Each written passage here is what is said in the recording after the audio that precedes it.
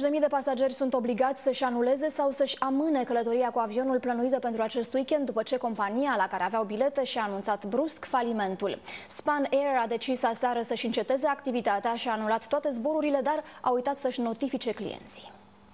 Falimentul surpriz al companiei Spanair a provocat haos pe aeroporturi. Sute de pasageri au descoperit cu stupoare că avioanele pentru care aveau bilete nu vor mai zbura. 647 de curse programate pentru acest weekend și luni au fost anulate. Încărcați cu bagaje, oamenii nu și-au putut ascunde indignarea. Ni siquiera embarcan ni facturan maletas. No facturan a nadie, sin más. Ha dicho que hoy no, no, hace, no hace vuelo. Puțini știau de comunicatul dat de Spener în care anunța că și încetează orice activitate. Disperați, clienții au luat cu asalt ghișeele companiei care i-a lăsat baltă, însă angajații Spener, îngrijorați și ei pentru locul lor de muncă, nu-i puteau ajuta. He ido a preguntar si, si podía volver el lunes, si me garantizaban la vuelta el lunes, eh, porque tengo un billete de, de, ida y vuelta a Bilbao y tengo que trabajar el mismo lunes. La chica me ha comentado pues, que actualmente están, están reunidos y que no, no me puede asegurar nada.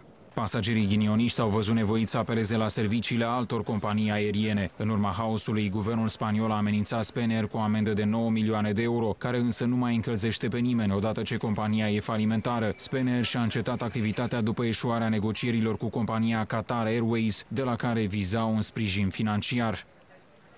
Activistele